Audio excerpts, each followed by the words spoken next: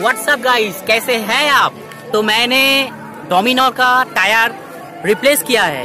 तो मैंने दिखाना चाहता हूँ कि जो टायर है, क्या डाला है मैंने।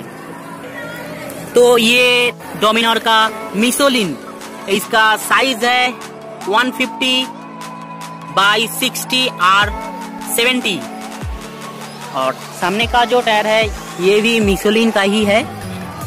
इसका साइज़ है 110 बाई 70 17 70 70 17 अगर आप भी मिसोलिन टायर खरीदना चाहते हैं तो ये अब देख लीजिएगा।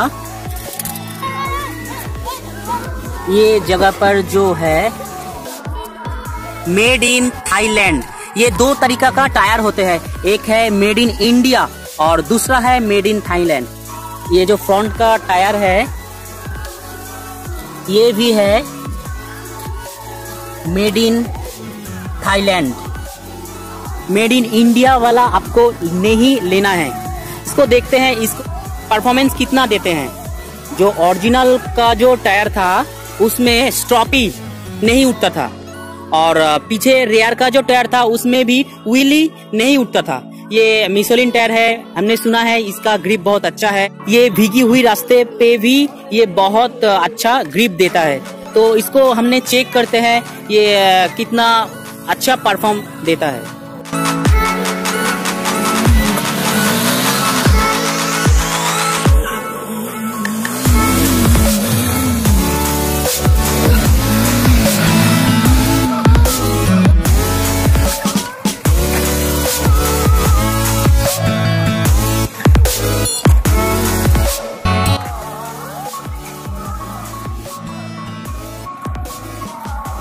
तो फ्रेंड आप तो देख लिया कि इसका कितना अच्छा परफॉर्मेंस था। ये उइली भी हो रहा है और ये स्टॉपी भी हो रहा है। स्टॉपी थोड़ा कम हो रहा है क्योंकि ये हमने जो बाइक किया है, ये 20 केजी के भी ज़्यादा ऊपर ये मॉडिफाई हुआ है।